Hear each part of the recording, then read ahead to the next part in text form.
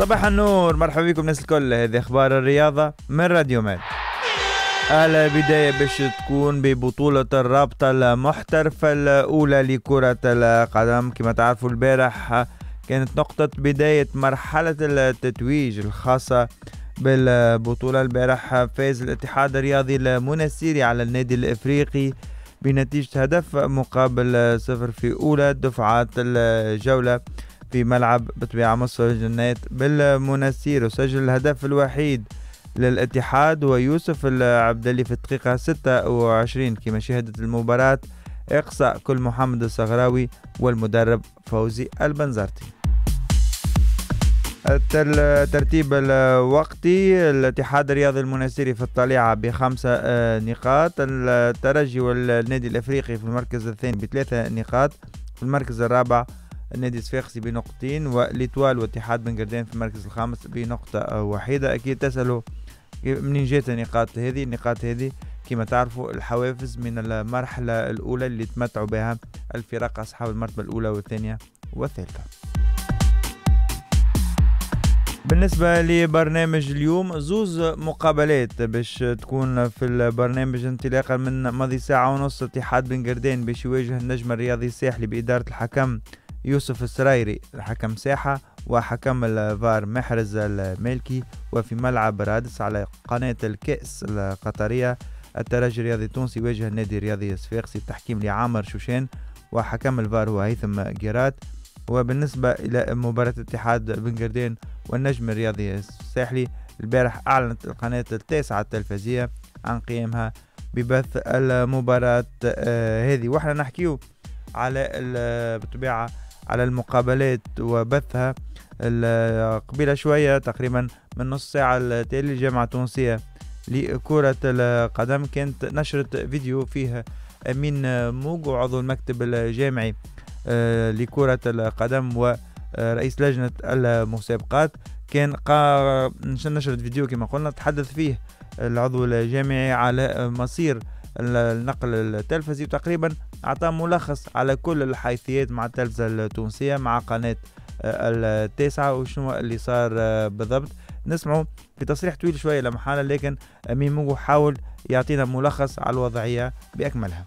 برغم التسهيلات الكبيرة اللي أعطتها الجامعة التونسية لكرة القدم للتلفزة الوطنية لبث مباريات الرابطة المحترفة الأولى وبرغم تراكم الديون الغير خالصة فإنه الجامعة التونسية لكرة القدم عمرها ما منعت التلفزة الوطنية من بث هذه المباريات. كيف كيف؟ ذكرنا برشا مرات على التلفزة أنها نجم بث المباريات وأنه عمرنا ما منعناها من هذا البث. في اجتماع المكتب الجامعي برؤساء الأندية ذكروا وطلبوا من التلفزة الوطنية أنها تلتزم بما هو موجود في العقد وتبث هذه المباريات. وإثر ترشح المنتخب التونسي لكأس العالم قطر 22 واستقبال سيادة رئيس الجمهورية لوفد المنتخب كان طلب إيجاد حل يمكن الجماهير التونسية من آه، مشاهدة مباريات على التلفزة. وأكد على العلاقة التاريخية ما بين الجامعة التونسية لكرة القدم والتلفزة الوطنية. الجامعة التونسية استجابت لهذا الطلب ومكنت التلفزة من تسهيلات جدد. التسهيلات هذوما شنوما أولا تمديد العقد بصفة مجانية إلى حدود نوفمبر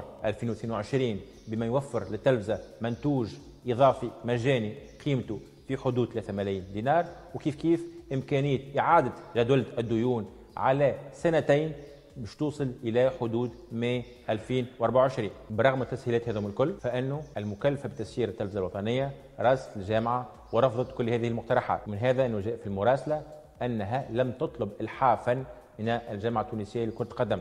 بمعنى آخر أنها ما لحقتش بالجامعة من أجل هذه التسهيلات وهذه الجدولة. هون نذكروا المكلفة بتسيير التلفزة الوطنية بأن العلاقة التاريخية ما بين الجامعة و التلفزة هي علاقة وطيدة وتاريخية وأنه ما نعتبروش أنه هذا الإمهال يعد من من الإلحاف أو التلحليح لكن إذا كان هي راقلها أنه تعتبره من قبيل الإلحاف أو التلحليح فنحب نذكره أنه التلفزة الوطنية في عديد من المناسبات في المواسم الماضية كانت طلبت جدولة هذه الديون والجامعة كانت استجابت لهذه الجدولة والأمور مشيت على أحسن ما يرى وسعيا من الجامعة التونسية لكرة القدم لتلبيه رغبة الجماهير التونسية في مشاهدة المباريات ونزولا عن رغبة رئاسة الجمهورية في تمكين المشاهدين من الفرجة على المباريات فإنه المكتب الجامعي القى حل لتفادي هذه الإشكالية. وتم اجتماع مع ممثلين من القناتين اللي متعاقدة معهم الجامعة اللي هما Carthage Plus وقناة التاسعة. آه، قناة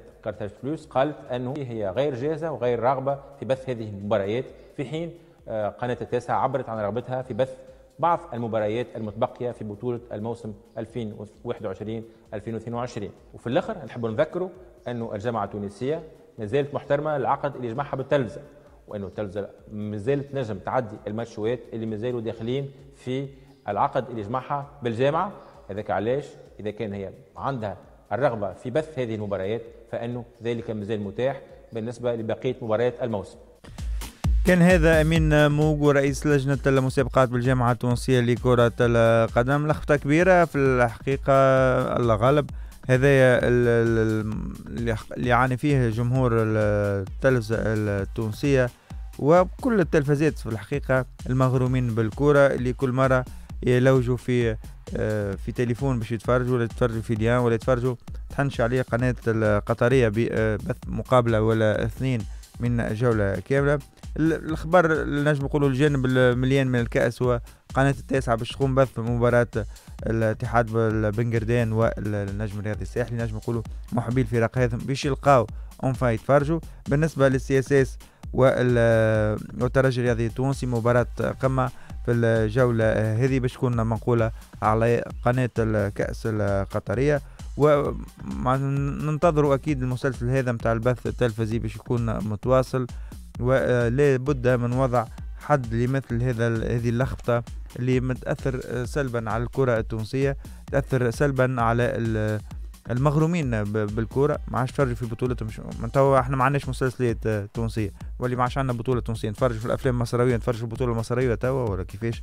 والله ماذا بينا المسؤولين الكل يقعدوا مع بعضهم ويشوفوا حل للمعضلات آه هذه.